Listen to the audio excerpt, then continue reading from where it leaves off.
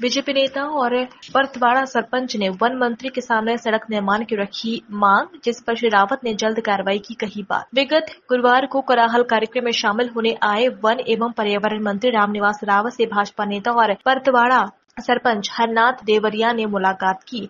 उन्होंने ज्ञापन देते हुए मंजूरी से बागड़दा तक के लिए 100 किलोमीटर तक की मोरम रोड डलवाने का आग्रह वन मंत्री रामनिवास रावत से किया। साथ ही हरनाथ देवरिया ने ये भी बताया कि उन्होंने स्वयं इस रास्ते को जाकर देखा है। बहुत खराब स्थिति है। शव तक, गाँव तक ले जाने में दो दिन लग जाते हैं। इसलिए सड़क का निर्माण शीघ्र करवाया, जिस पर वन मंत्री ने तुरंत ही वन विभाग के सीसीएफ से चर्चा कर जल्द ही कार्य करवाने की बात कही है। संवाददाता अमित कुमार श्रीवास्तव की रिपोर्ट। दो दिन में तो लाश से गड़बड़ हो गई।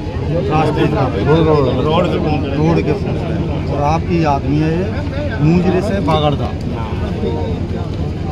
अभी वो करना है आपको। दिया था। ग्राम बागड़दा तक मुरम रोड साफ़ करना ये होना है ये पूरे लोग आए मुंजरे वाले। ये आपको करना है। इनके बच्चा खत्म हो गया था दो दिन में लाश पहुँची। रोड के कारण। मैं कल भी नहीं था। दो दिन का उधर ही। मुंजरी से बागड़दा आपने देखा है। सात गाँव सात गाँव जुड़ी हुए हैं। मुख्यमंत्री के टाइम पे भी उधर से लोड के आगे को सोपरी भी करीबन कितने किलोमीटर तक पटेल साहब जुड़ता है? ये तो नहीं होना है। कैसे ही होना बहुत काम हुआ है। चलिए ये मुझे भी का होगा